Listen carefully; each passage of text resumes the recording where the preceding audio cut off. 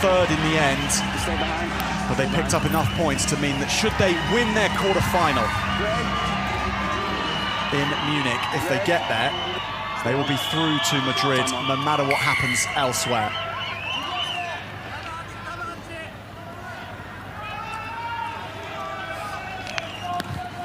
Tony Omondi gets Kenya underway. And Japan realign this uh, Simon Amor coached team that are going through a transition in their style of play. Had a tough outing in Montevideo. They learnt a lot from that encounter, particularly that first match against Hong Kong where they never got out of the blocks and life was difficult after that. Have to start well against Kenya here.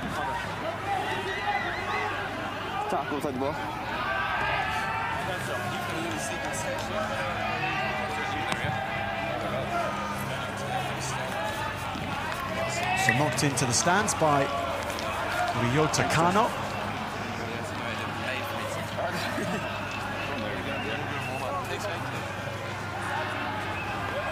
And there goes Kano to take the line out and find his jumper.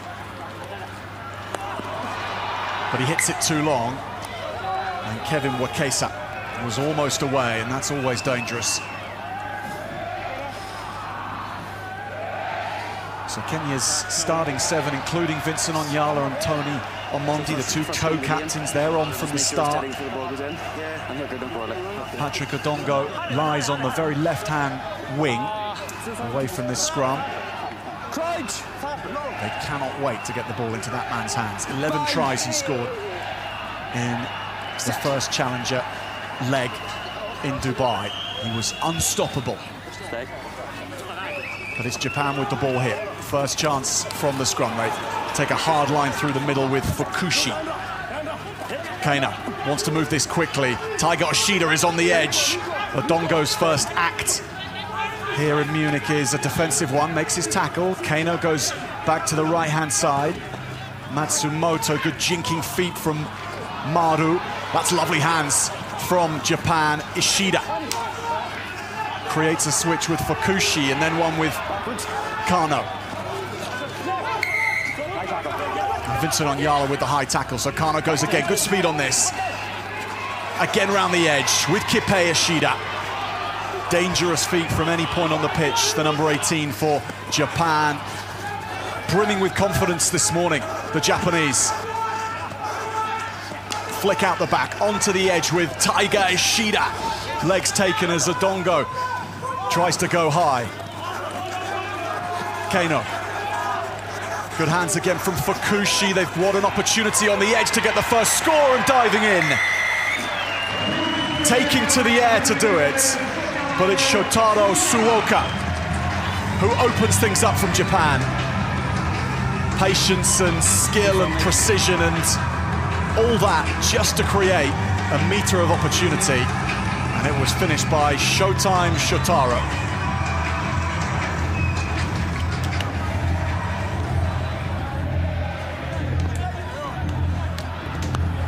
So good in the air, this man.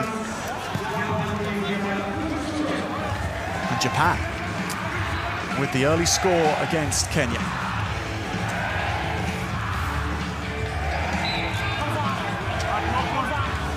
Three and a half minutes nearly of continuous play from the Japanese. Fast kickoff, but Kenya alive to it with Onyala. Now they'll show what they've got and you can expect, you can guarantee things will be a little bit more direct. Here's Odongo, fed up of waiting for the ball on his wing, so he picks it up from the ruck. Taken by Takamasa Maru. Onyala spin and pass was from Asati, and they are copping some shots here. Kenya. They're keeping the ball alive. Good press from Japan. It's going to work to the edge here, and that's all it will take for the first score. Kevin Wekesa will run it home, unopposed from 50 metres. The press defence overstretching. And Kevin Wekesa brings out the dancing in the stands for the first time today.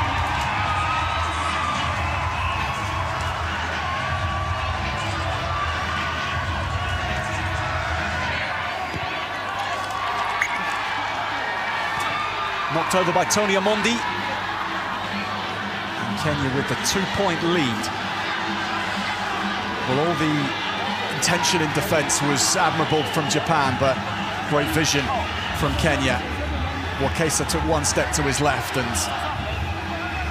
had the space on the outside.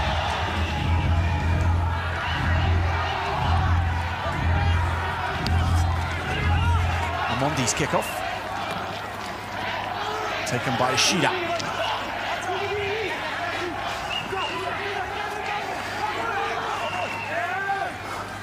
Back to Kippei Ishida, live wire, half back. Fukushi. Oh, hitch and go from Junior Matsumoto. Japan having to realign quickly, but they are well numbered here and a chance to engage in a first sprint of the morning. On the outside goes Tsuoka again, but he's just beaten to it. Taken back by Tsuoka lurking, but big Vincent Onyala put in a shift to make back for that. Lung-busting opening, seven minutes from these two teams. Japan stretching Kenya to their extremes, and yet still first two points down. First goal was good like that.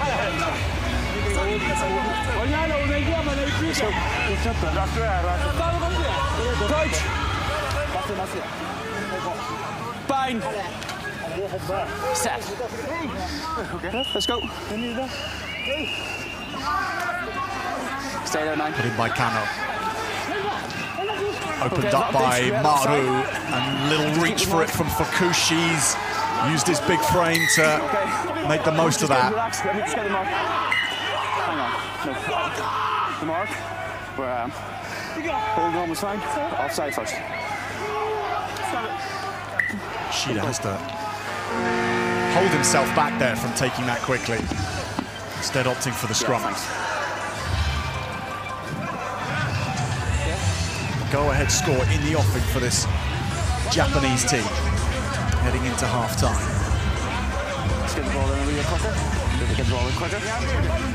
Finished uh, in fifth place in Dubai. They were in the frame for finishing in the top four at that point, but they had a poor outing in Montevideo, coming 10th. Bouncing back from this in Munich though. Kano, little step. Leave it now. Leave it. Ishida. Fukushi stretches and dives down, gets around Amaitsa. And Moeki Fukushi puts Japan in the lead. Yeah, Bender. Yeah, he was asking me to keep that.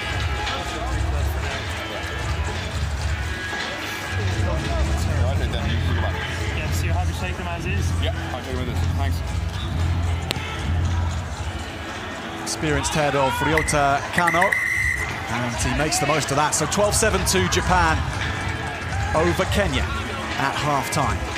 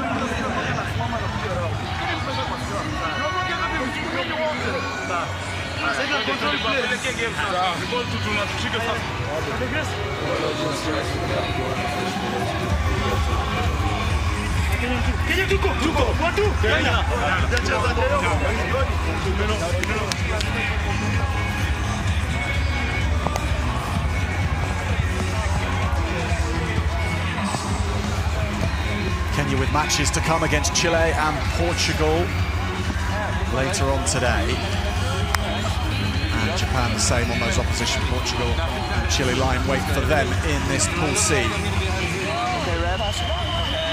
Both these teams building towards the Olympic Games as well this season. Japan in the process of, of switching their style of play from when they qualified for the Olympics for a style which will be more competitive come Paris 2024. That's the aim of Simon Amor's team. And on this evidence, in these first seven minutes against Kenya, they have brought a different level of intensity and organisation, and they're flying into Kenyan bodies again.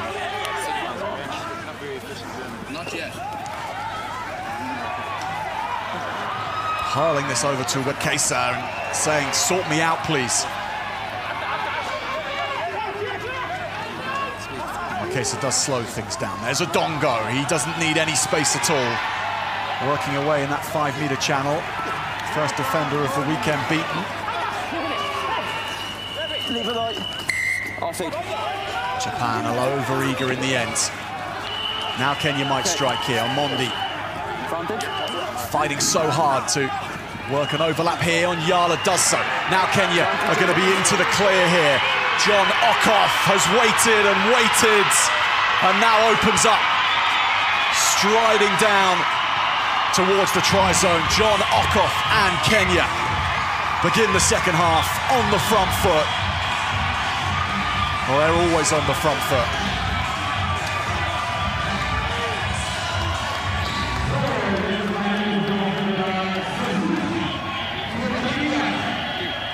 No,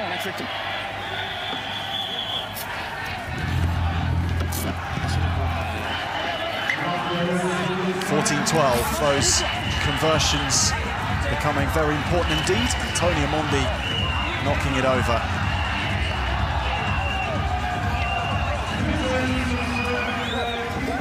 John Okoth opens his account for the weekend.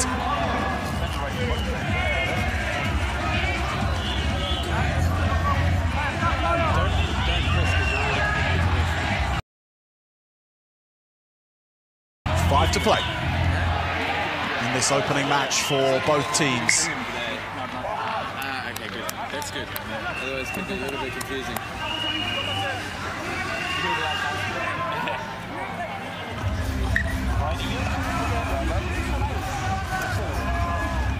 Time off. It's the scenic route versus the express highway in terms of styles between these two. Kenya just requiring a couple of passes to go the distance. And Japan passing and moving and passing again, getting around the edge of Kenya. Maybe the next blow from either contender will be the one that carries this one all the way to the final whistle. Brutal beginning for both teams. So tight out there, and now it lands in Kenya's hands again. And here we'll see Patrick Odongo spinning those twin turbos for the first time this weekend. Patrick Odongo is back, and Kenya hit three. The star of the challenger back in Dubai. He's had to wait for his chance here. This one was given to him. And he eats up those meters. Is it open now? No. Only when um, once that match is finished. Okay.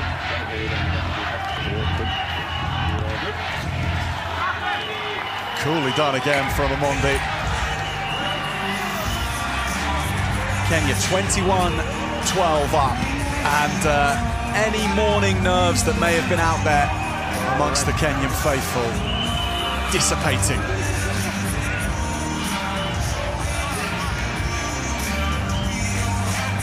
It's not even been a year since Kenya were knocked off the World Series for the first time. It ended a 19-year run as a core side last May when they lost to Canada, and it really hurt rugby in Kenya. It hurt this group of players.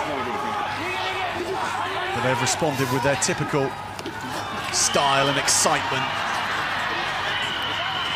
but even more energy. And with the pass to try and set things up, but a forward pass. Not forward. Forward pass.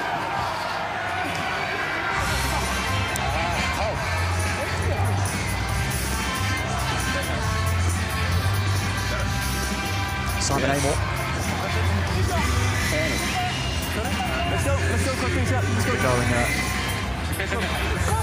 quite a few growing pains Yes, please, yes. with the team, but doesn't take long for the squad to learn. But, uh, this performance has been a good one. When you compare to where they were in March in Montevideo, it looks all out of kilter. It's a far more connected team now. Standing up. Far side. Straight up.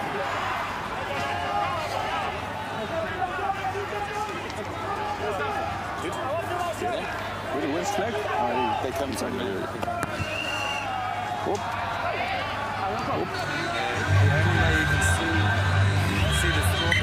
Six red. Six red.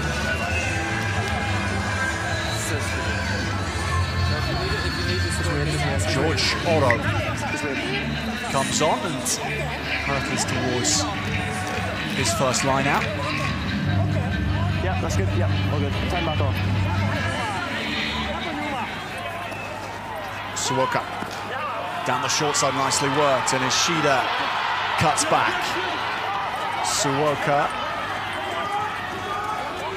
hitch on the outside. He'll switch with Taiga Ishida, who straightens, offering that all-important physical element to this Japanese team, but not on the floor. King is so strong in that department. Their S&C coach here, Andrew Amonde, captain of Kenya for many seasons, led them to their first World Series title back in 2016 as well. Andrew Amonde. Red nine. So